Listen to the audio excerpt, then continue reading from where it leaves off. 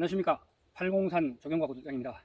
오늘은 팔공산 북사면에 있는 어, 다산면 응수리 어, 우리 조경과 구조장 농장에 여기가 고사리 밭입니다. 고사리 밭인데 이렇게 가운데는 이제 돼지 감자 똥단지라고 하죠. 똥단지가 아, 이렇게 지금 저절로 자생을 합니다. 제가 아무리 캐내도 계속해서 이렇게 납니다. 나는데 우리 염소들이 이렇게 다 뜯어먹고 지금 예, 줄기만 지금 남아있는 상태입니다. 요거를 지금 한번 어, 캐보도록 하겠습니다. 어, 준비물은 어, 물론 요. 돼지감자를 담을 통이 있어야 되고. 그리고 요 홈입니다 홈이. 근데 제가 캐본 바로는 더 좋지만 아, 이렇게. 뾰족한 거. 뾰족한 게 작업하기가 좋더라고요. 왜냐면은 그 돼지감자가 이렇게 생겼으면은 뾰족하면은 찍을 가능성이 좀 적잖아요. 넓은 거보다가. 넓은 거는 이렇게 스치려도 다저 상처가 나는데 뾰족한 거는 이렇게 스치려도 상처가 안 난다는 거죠. 그래서 저는 이 뾰족한 거를 선호합니다. 아, 이런 뾰족 홈이라든가 이런 갈퀴, 두 갈퀴, 그리고 쇠시랑. 아, 요런 걸 이용해서 제가 한번 캐보는데 오늘은 뭐 많이 캐는 건 아니고 어, 기본적으로 뭐 몇 개만 캐가지고 어, 지금 상태가 어떤지 이런 거를 한번 확인해 보기로 하겠습니다. 여기 다 돼지 감자거든요.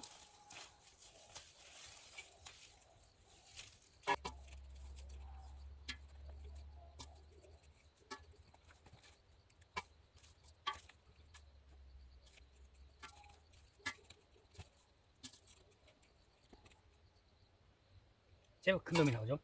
어, 돼지 감자는 어, 줄기 정 밑에도 있지만 줄기에서 한 어, 반경으로 25cm, 30cm까지 가기, 갈 수가 있기 때문에 그 주위를 잘 살펴봐야 됩니다.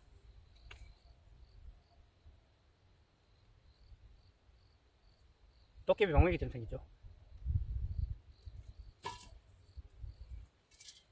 돼지 감자 먹는 법 차로 끓여서 먹거나 생으로 먹기도 합니다.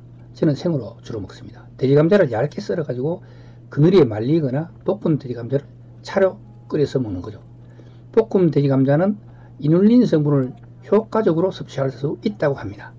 돼지 감자는 부작용이나 독성이 없어 남녀노소 누구나 섭취가 가능한 식품입니다. 돼지 감자는 세상에서 이눌린이 가장 많이 포함되고 있, 있으며 칼로리는 매우 낮은 식품입니다. 돼지 감자의 성분은 이놀린 외에도 단백질, 회분, 당질, 칼슘, 비타민 B, 비타민 C, 나이아신 성분을 함유하고 있습니다. 돼지 감자의 이눌린 성분은 인슐린을 정상치로 유지하는 데 유효한 성분입니다. 이 때문에 오래전부터 돼지 감자의 사용의 당뇨 환자들에게 꾸준히 되어 왔던 것입니다. 변비에도 도움이 됩니다. 돼지 감자는 식이섬유 함유율이 매우 높은 편이므로 장내의 유산균을 증식시키는 역할을 하기 때문에 변비에 특효라고 합니다. 췌장의 건강에 도움이 된다. 췌장은 당뇨와도 연관이 있는 기관으로 인슐린을 분비하는 작용을 합니다. 돼지 감자의 경우 이러한 췌장의 기능을 정상화시켜주는 기능을 하는데 이 때문에 돼지 감자 요리를 많이 먹는 에루살렘 사람들이 췌장의 기능이 매우 뛰어나다고 합니다.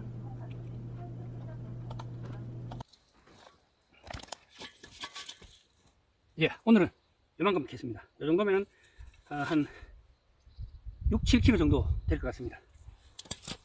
잠시 한 10분 정도 이렇게 했는데, 이렇게 했는데, 여기는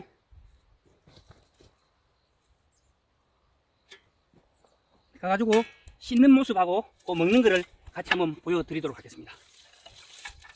자, 이제 내려가야 되겠습니다.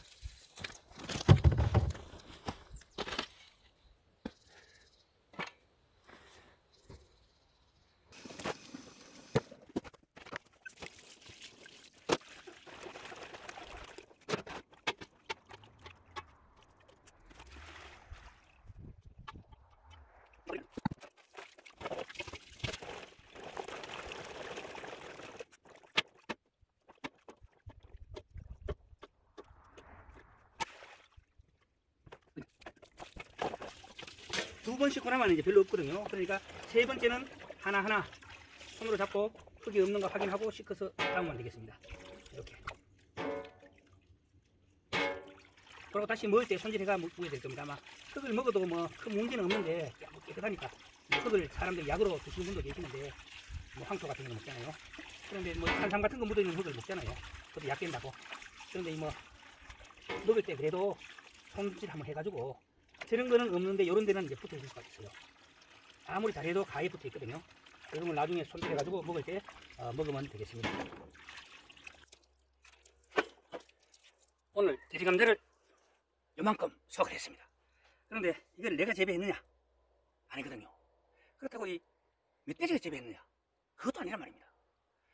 엄연히 따지면 제가 고사리를 키우기 위해서 그름을 좋아하는데 그걸, 그거를 갖다가 예, 먹고 자란 놈입니다. 오늘 그 수확한 돼지 감자입니다. 이것을 한번 먹어보겠습니다. 맛이 어떤지.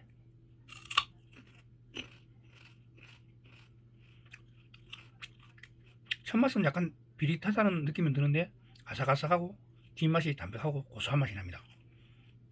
작년에 제가 2월 달에 캐 가지고 막 썩은 게 많아 가지고 별로 못 먹었거든요. 근데 올해는 음, 10월 달에서 그런지 몰라도 작년보다 훨씬 더 담백하고 맛이 고소하고 좋습니다. 오늘은 여기까지 하도록 하겠습니다. 지금까지 803 조경과 구독장이었습니다. 구독, 좋아요, 알람 눌러주시면 더 좋은 영상으로 찾아뵙겠습니다. 감사합니다.